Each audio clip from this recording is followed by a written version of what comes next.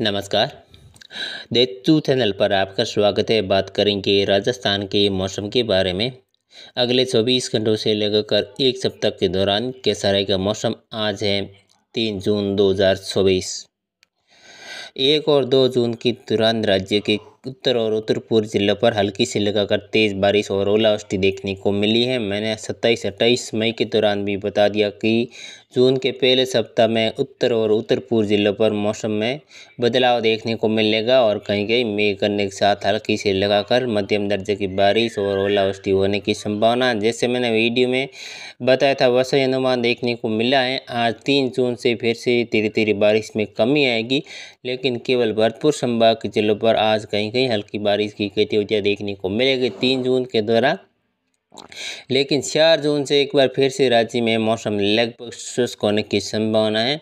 चार और पाँच मई का मौसम ज़्यादातर क्षेत्रों में सामान्य और और शांत बना रहेगा, लेकिन स जून से एक बार फिर से मौसम में बदलाव आएगा। स जून की दोपहर के बाद में एक डब्ल्यू टी एक्टिव होने से गंगानगर के चित्र हैं। हनुमानगढ़ के इलाकों पर फिर से बारिश का दौर शुरू होगा, जो कि स जून से लगाकर सात, आठ, नौ, दस, ग्यारह और बारह जून के दौरान बीकानेर, जोधपुर संभाग के ज़िलों पर लगातार मौसम बारिश का बना रहेगा और दोपहर होते होते बीकानेर एक साथ हल्की से लगाकर तेज़ खंड दर्जे की बारिश होने की संभावना है। आठ और नौ जून के दौरान अरब सागर पर एक सिस्टम भी बन रहा है। वो भी लगभग राजस्थान की तरफ़ आगे बढ़ेगा, जो कि तेरह सप्ताह जून के दौरान राजस्थान के भागों पर प्रवेश करने की संभावना है, जिसके प्रभाव से तेरह जून से दक्षिणी और पश्चिमी भागों पर बारिश का दौर बढ़ जाएगा। राजस्थान के पश्चिमी भागों पर भी जो जोधपुर संभाग इलाके हैं तेरह बारह तेरह सप्ताह जून के दौरान बाड़मेर, जोधपुर के चतरे हैं, फलोदी के चत्र हैं और जालोर के इलाके हैं सासोर के इलाकों पर देखा जाए तो बारिश का दौर बढ़ जाएगा। हालाँकि आठ नौ जून के दौरान भी दक्षिणी और दक्षिण पश्चिम भागों पर बारिश का दौर चलेगा, जिसके प्रभाव से कोटा, उदयपुर, संभाग के क्षेत्र, जो बांसवाड़ा, डूंगरपुर, उदयपुर, प्रतापगढ़, चित्तौड़गढ़, राजसमंद, भीलवाड़ा के क्षेत्र, यहाँ पर आठ नौ जून के दौरान भी बारिश होने की संभावना है।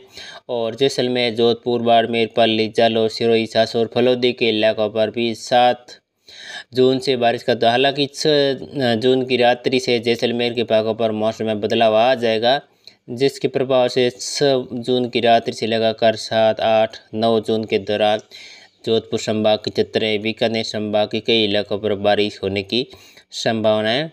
अब देखा जाए तो जून के दूसरे सप्ताह में लगातार मौसम लगभग संपूर्ण राजस्थान में बारिश का बना रहेगा और कई हल्की कई मध्यम से लगाकर तेज़ बारिश होने की संभावना है। तापमान में गिरावट दर्ज होने की संभावना, हालाँकि चार और पाँच जून के दौरान बीकानेर और जयपुर संभाग के कुछ भागों पर फिर से गर्म हवा चलेगी दोपहर के बाद में, हालाँकि कुछ रात रहेगी, हालाँकि कोई ज़्यादा रेड अलर्ट नहीं है। हीट वेव इतने ज़्यादा नहीं चलेगा, लेकिन गर्म हवा चलेगी चार पाँच छः जून के दौरान, लेकिन छः जून के बाद में फिर से तापमान में गिरावट आएगी और लगभग अड़तीस से लगाकर गुण पड़ा, पचास गुण पचास, गुण चालीस डिग्री के आसपास रिकॉर्ड होने की संभावना है।